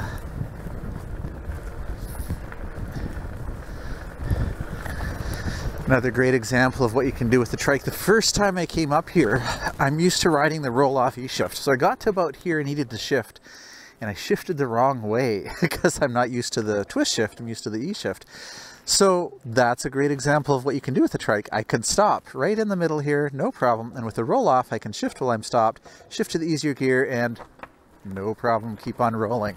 So it was a good uh, example, a reminder for me of some of the benefits of the recumbent electric trike and uh, having the Rohloff.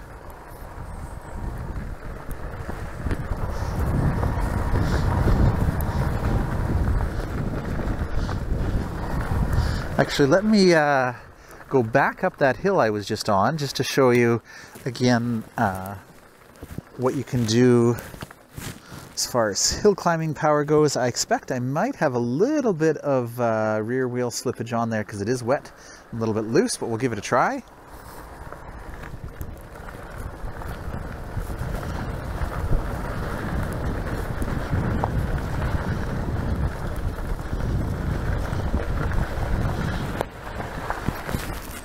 back over the bridge. And again, what a great place to stop and look and enjoy the scenery.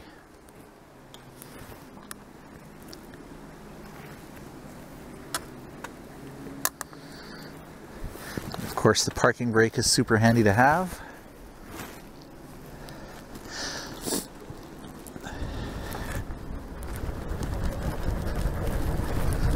Got a bit of a side trail here some roots and rocks to avoid, no problem. Can roll right over them. Sometimes with three wheels it's harder to avoid things, but with these fat tires you really can just roll over whatever you need to.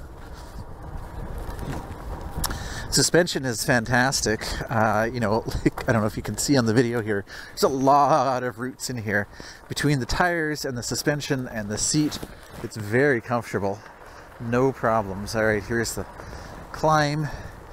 It gets uh, steeper at the end, levels out a little bit here. I'm hoping, I think there's a fair bit of tree cover, so we might not see the gradient on the camera, but it is uh, quite steep. I'm gonna get into one here, roll right along. You know, I'm going six kilometers an hour, five, no worries. Just go ahead and spin right up. Not actually pushing very hard in that first gear, I'm just spinning a little bit. Really easy, no problem to climb right up there. So that was so much fun, I'm gonna go back down.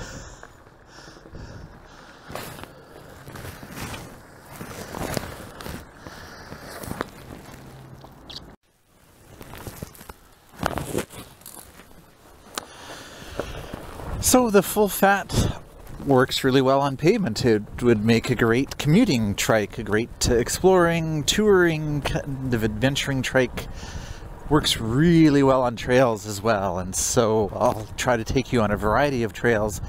Uh, but uh, so far, I haven't found anything that I can't roll over with this trike, and by roll over, I mean that I can roll right over it, not that I'm falling off.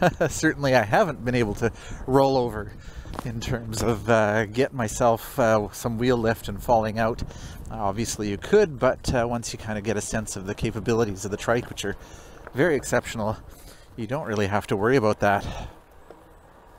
But uh, certainly, logs and things like that, no problem to uh, get over. Not sure if I'll be able to find any logs down on the trail today. Here's a nice narrow opening. No problem, get through there. They've closed some of the trails in the uh, park here for habitat restorations, so uh, the ones that did have uh, logs down on them probably are closed now. So we'll just have to be satisfied with the curb that I rolled over earlier and uh, some of the roots and rocks on here.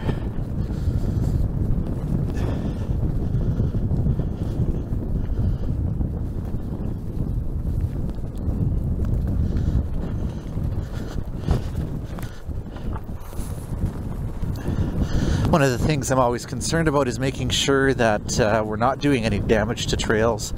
One of the nice things about the uh, fat tires here is, especially when you're running them in low pressure, uh, you know, you can go back through some of the muddier, wetter sections and you won't even see evidence that I rolled through there because, uh, you know, most of the weight is distributed over such a wide, three wide tires that uh, really has very little impact on the trail, which is nice. Be some tight corners in here and I may end up with some uh, rubbing of the camera on the uh, tire again. I apologize for that. There's some sticks, roots. No problem having the, uh, there's a big root. Pop over that, no problem. Again, at first it feels weird because you're, you know, one of your tires is lifting way higher than the other and you think, oh man, I'm going to fall off. You won't. it takes a lot to really get enough of an angle before you are going to have a problem. The suspension is fantastic. That's part of what gives you that stability. Sure, it's you know making it a lot more comfortable and smooth, um, but it's also keeping the wheels on the ground, and that's a really important feature of having the full suspension. It's not just for comfort, but it does give you traction, stability, and control. It's you just crawl right over things and still have uh, lots of traction. And of course, the seat itself does give you some suspension. Uh, don't, I'm not sure that I really subscribe to the theory. Sometimes people will get a fully rigid recumbent trike and say, well, you know, the seat's giving me lots of suspension. And certainly it is, but it's not giving you the traction. And it's not really giving you as much suspension, especially stuff like this where I'm going over a lot of roots and sticks and rocks. Have, there's no real substitute for having that suspension to keep your three wheels on the ground all the time. But certainly the uh, seat does give you a lot of comfort as well. And even, you know, your own body, your weight is now distributed over a much larger surface area than just your uh, than just your hands and your butt and your feet. I've got my whole, you know, body, upper body, relaxed in this uh, comfortable chair, spreading out my weight. So when I go over bumps, it's not as jarring. I don't have, you know, all of my weight coming down. I'm not using my legs as my suspension. I've got the chair to do that. And so it becomes a lot less fatiguing as well going over rougher terrain. Just that's what my wife found is she's you know willing to do all those things because she feels more confident and safer. Uh, but also it's just it is more fun. You're not being thrown around as much, at least in a way that makes you really really sore. Whew, there we go. It again, right wheel came way up there over a bump, and you have that moment of oh no, I'm gonna fall, but uh, you're not. it takes takes just time. You know, the more you ride, the more you become comfortable with the uh, capabilities and capacity of the uh, trike. Well, hopefully this has been helpful. Uh, it's been interesting for me. Like I said, I've put six or seven kilometers on the trike already, so I've done a lot of riding, and that's something I don't always mention in my ride test videos. I, you know, edit them down. I only do a few minutes, but I've already put, many cases, many, many hours getting a sense of what you can and can't do and uh, just uh, really you know getting an understanding. And uh, so I've done that uh, with this and continue to ride it because it's so much fun. I really can't um, overemphasize how enjoyable of an experience this is. So if you'd like to try it for yourself head over to our website at citruscycles.ca. There you'll find our contact info, so you can call us, you can email us, you can send in your questions, set up an appointment to come try uh, here in Ladysmith on Vancouver Island. And uh, we also can, uh, I think we've got most of the pricing on the website. It's a bit tricky because they're completely custom made, right? So you can choose all of your options, and that's where it's best to reach out to us, and we're happy to help you make those decisions. All that's on our website at citruscycles.ca. Okay, so I've switched to my helmet cam for this segment of the video. I'm going to do my best not to move my head around too much and make you dizzy. Uh, if you find that it's uh, too disconcerting, you can skip ahead uh, when I go back to the uh, camera being mounted on the trike. I thought this would give you an interesting perspective. So, starting this section of the ride with another climb here. And just wanted to show you, like, I can stop actually in the middle of the climb. I put it in my first gear and I can go as slowly as I want. I don't have to worry about uh, tipping over obviously with the minimum speed like you would on a bike. You know, so I'm doing five kilometers an hour right now. Super easy. But if I want to push myself, you know, I can shift there a little bit and I can spin up you know, and I can climb this hill maybe 15, 16 kilometers an hour. But it's nice having that choice. You know, at the end of a really long ride, if you're tired and you've got a big hill ahead of you, no problem, take your time. Starting out on the ride and just want to go fast, you can do that as well. It takes a little bit of uh, getting used to figuring out, you know, the right gears and the spinning versus pushing and all of those kinds of things. And that uh, is part of just learning you know, your riding style and getting your trike legs, as we call them.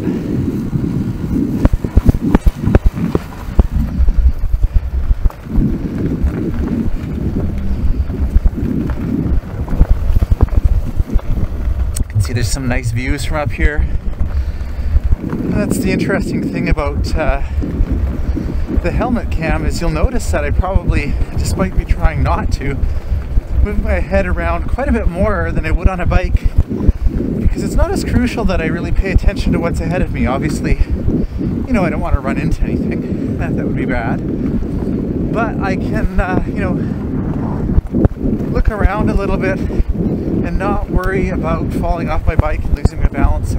It's types of things that you don't consciously think about on a bike, but to actually take up some of your subconscious uh,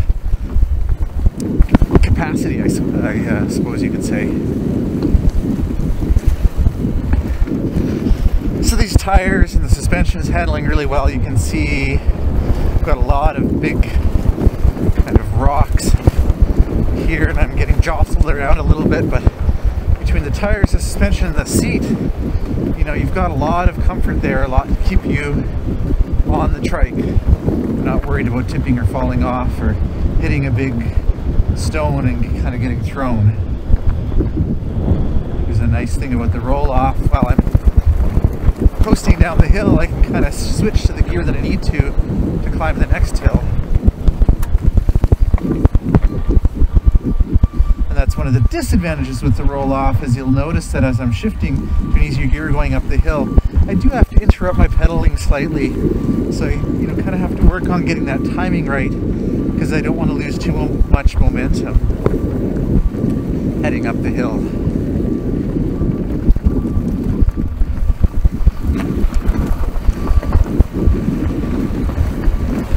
Again, no problem getting around barriers.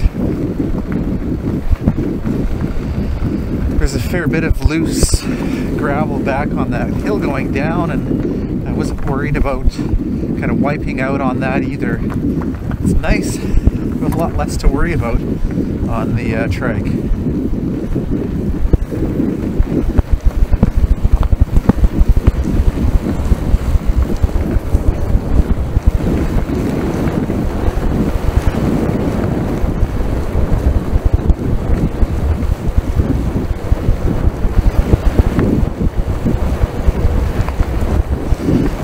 morning here on Vancouver Island, here in Ladysmith. It was about three above zero. A little warm up, but I wouldn't be surprised as we gain some elevation here, we start seeing some ice in the puddles or a little bit of frost on the road. And again, it's a good reminder, illustration of the benefits of the three wheels. You know, I was saying the other day, as we head into winter, that this, you know, last winter I ended up ended up with more snow than we usually have here in Ladysmith. Ended up having to ride a fat bike to get around because I'm generally not driving, I'm actually uh, not not that I'm looking forward to there being snow. I'm hoping there won't be, uh, but if there is, or if I head up here, there's just a little bit of elevation gain. There's often snow in the winter. It's actually going to be a lot more enjoyable on the fat trike because one of the challenges with a fat bike is just keeping your balance, keeping your momentum up. A lot of times you'll get into some deep snow and just kind of peter out, you know, have to hop off the bike. Trike, won't have that problem. So I'm looking forward to, if I need to, having a nice stable vehicle to get me through the snow.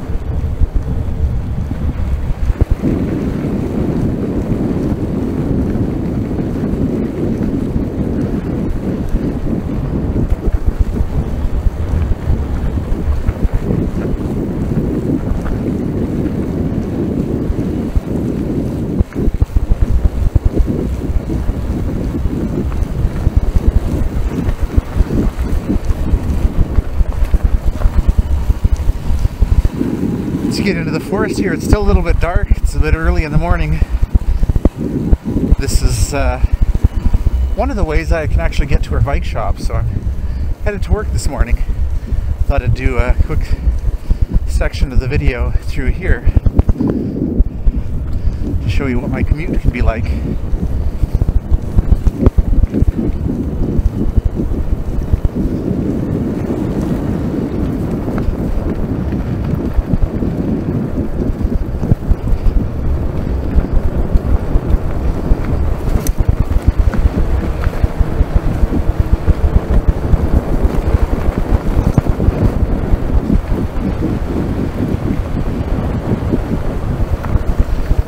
Funny, I was just going to jokingly say something about traffic on my commute.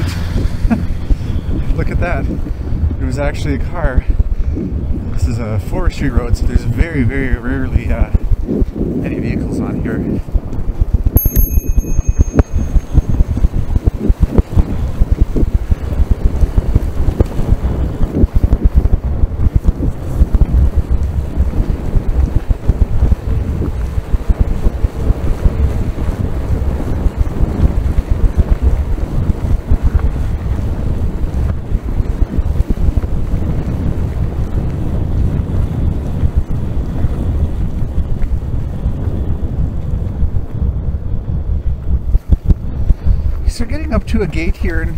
A, an example of one of the challenges with the trike is getting around the gate. I could probably work up the nerve and ride around it, but it's uh, quite a bit uh, of a slope here, and uh, I'm concerned I might get a little bit of wheel lift there. So what I'm going to do is I'm just going to pop my feet out of the pedals and kind of walk myself around it now. On a bike, you know, some people will ride around that, but a lot of people will also walk their bike around it or push their bike around it because they're concerned about falling off into the woods there. So, you know, I might be able to experiment with riding around it, but it's pretty easy just to pop off there. I am using uh, clipless pedals, so it's really easy for me to get in and out. And now I'm around the gate. But I imagine, I haven't found any yet, but I imagine at some point I may find a gate that I can't get around and may be difficult to get under. In that case, I just remove my seat. That'll uh, reduce the overall height of the trike and I should be able to slide under.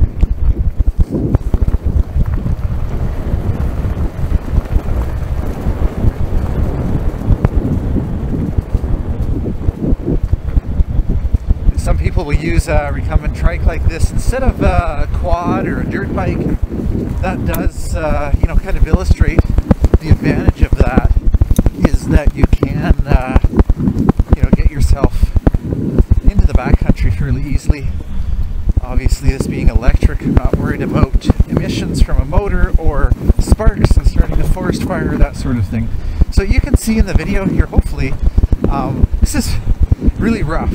Lots of big rocks in there that I'm rolling over. It's actually a lot of fun.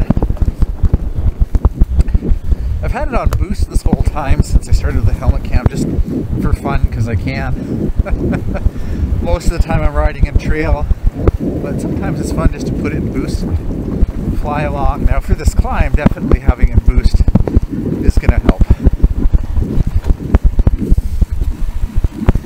on my bike on here, I, you know, kind of try to pick my way through those rocks.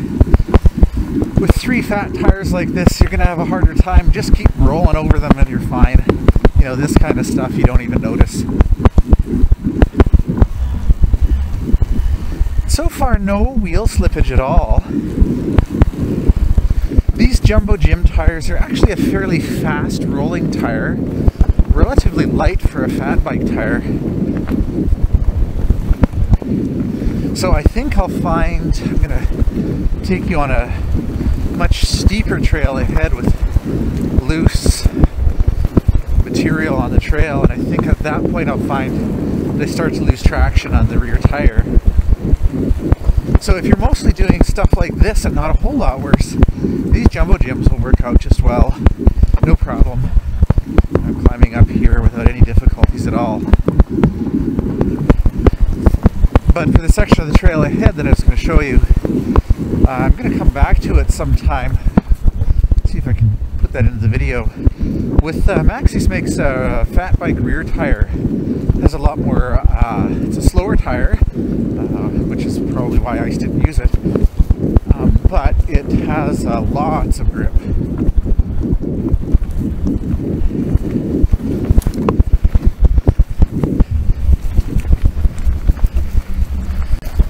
just heading into fall here. It's the beginning of October. You can see all the leaves that are falling, but it's been fairly dry so far. So I'm not sure. There's waterfall in there. Not sure if you can see it on the video. A little bit of water in there, but you know, give it a couple months. We get some rain. It'll just be pouring through here. This is a really fun ride to come on. To come, you know, see that this is different every day because as the seasons change and the water rises and falls. It's really quite fun to see. Getting into some wet mud here now. Again, no problem on the climb. Of course, it helps to transfer your weight to the back tire. Choose the right gear. And uh, shouldn't have a problem.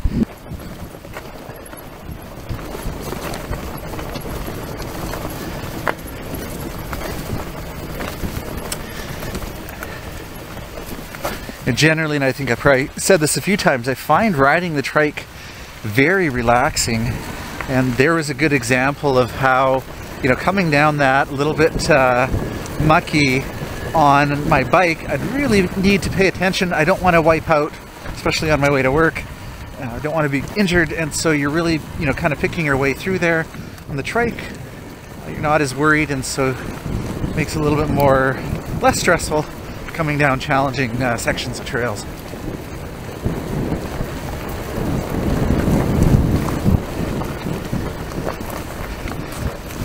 Head up to another uh, point of turnaround here.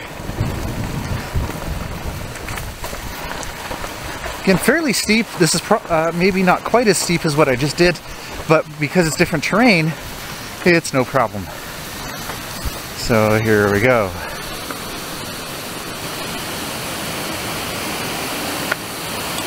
Now, little trick for you.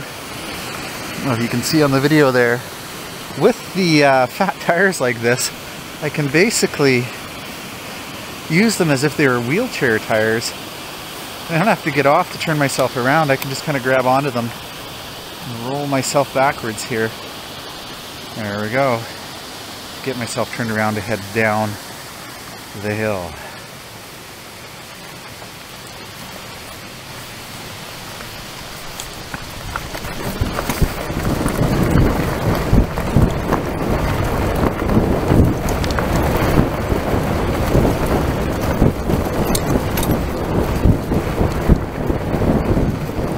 Again, loving the Rohloff there as I started heading down the hill. I uh, was able to shift into my hardest gear without having to pedal or plan it out ahead of time.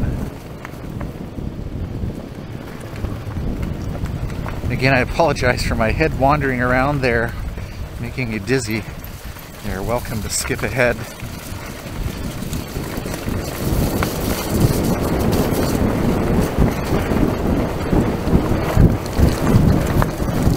Now ICE doesn't make front fenders for the full fat yet. There's a rear fender, which is great.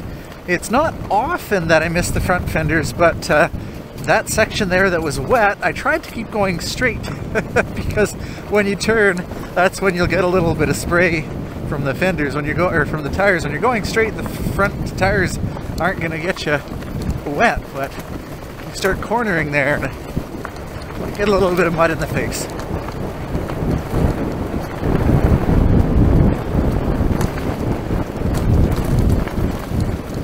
Well, I gotta say, this is super fun. You know, the climb up was great fun. Not too much work. I, you know, I put had it on boost. I could put it down if I wanted to and, you know, work a little bit harder at it. It was my choice. It was a lot of fun coming up, but this is really fun coming down. Yeah, I'm getting, you know, jostled around a little bit here, but that's because I'm going pretty quick on some pretty big rocks here.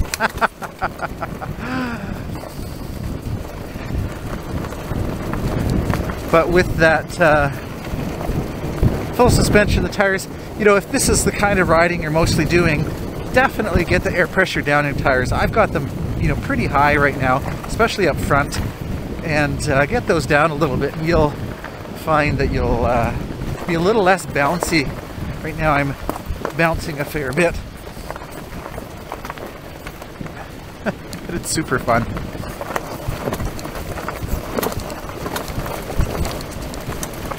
What's interesting is despite going over all of those bumps, you know, and getting thrown around, I'm never actually feeling out of control. I'm not feeling my back end sliding around. It's actually still, you know, stuck to the ground. It's just stuck to a, you know, big boulder. But, you know, I'm rolling over them. I'm not coming off of the ground. I'm not getting my back end thrown around.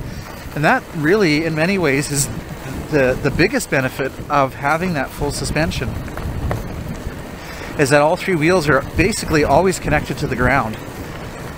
It's going to give you a lot more confidence, a lot more stability, and it's going to let you, you know, go on trails like that maybe a little, bit quicker pace than uh, you would if you didn't have that suspension. In fact, without that suspension, I'd be going a lot slower because my back end would really be thrown around there. So just scooching around the uh, gate there again. That gate I wouldn't have been able to go under because there's bars in there, so I'm glad I was able to get around it. If you're very determined and can go around it, I suppose, it's not too high to lift it over.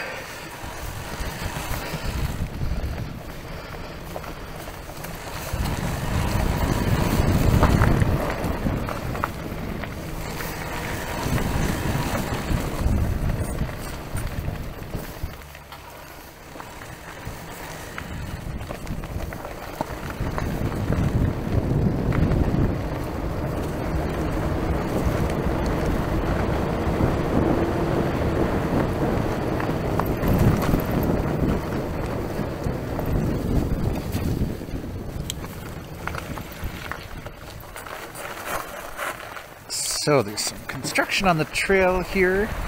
Yesterday they weren't working at it so I was able to get around so we'll see about today. This is interesting. If you watched my um, ICE adventure trike review you'll notice that I'm actually doing a lot of the same uh, circuit on it. I didn't go past the gate with the adventure because that would be doable but very slow because of all those big rocks it'd be you'd want to you know watch your speed um, so I came here on the adventure and I'd mentioned on that video and I'll mention here, you know, this surface is really less than ideal. It's actually likely not to pack. It's very loose material. And uh, I definitely noticed on the adventure, you know, needing to pay attention to the fact that I could easily skid out on this. Uh, even on a bike, even walking, you'll notice it's quite loose material. Certainly with these fat tires, it's definitely doing a lot better. I'm able to uh, go a little bit quicker without worrying about skidding out.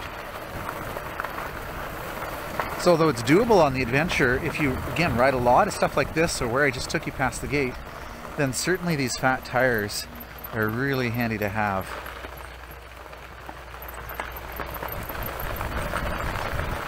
Again, here I seem to remember in that adventure video being, you know, really having to watch my speed and feeling like, uh, you know, I needed to be careful because of the loose material. Obviously, I'm still being careful, but no problems at all there.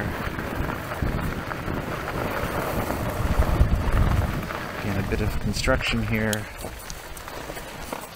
The uh, Shimano STEPS mid-drive motor does have a walk mode, so that can be really handy in situations where you need to uh, walk the trike for a while it'll actually move itself along at a four or five kilometer an hour pace for you.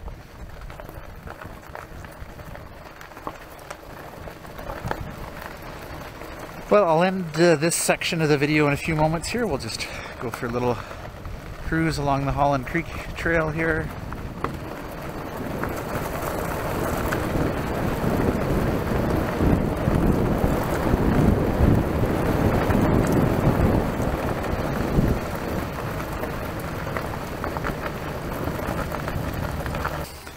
Okay, had to do a bit of a detour here. The, we're working on the trail down that way. So, again, the nice things about having a trike like this is when I do run into those detours, I can keep going.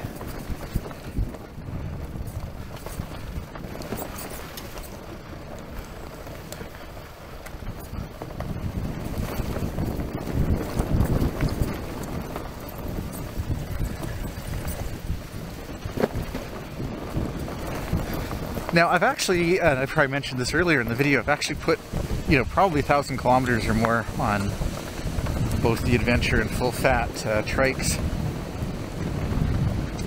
So I'm actually getting quite used to uh, rolling on off camber sections where the trail's a little bit uh, tilted. At first it was quite disconcerting because it feels like you're going to fall off. So you'll you know probably notice quite a number of times in the video that I'm on a bit of a lean and you know just after riding a while you get a, a, good sense of what you can and can't do. And really you can do a lot. You know you're gonna have to be on quite a slope before you have to worry about uh, wheel lift. But at first it's definitely uh, strange sensation perhaps disconcerting when you're on a tilt and you feel like oh I'm gonna fall off I'm gonna roll. Um, but again, you know, it has to be fairly extreme before you're going to have to worry about actually having some wheel lift.